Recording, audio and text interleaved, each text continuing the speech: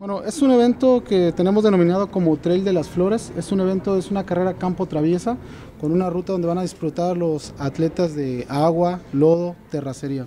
Una distancia de 5 y 10 millas, que es lo equivalente a 8 y 16 kilómetros. Es el día 21 de febrero a las 8 de la mañana en Zapopan, municipio de Iztaxoquitlán. Bueno, este, nos acaban de confirmar la participación de Sabi Luna, que son atletas de alto rendimiento entonces, bueno, nos da más prestigio a nosotros como organizadores y la convocatoria está abierta a todas las personas.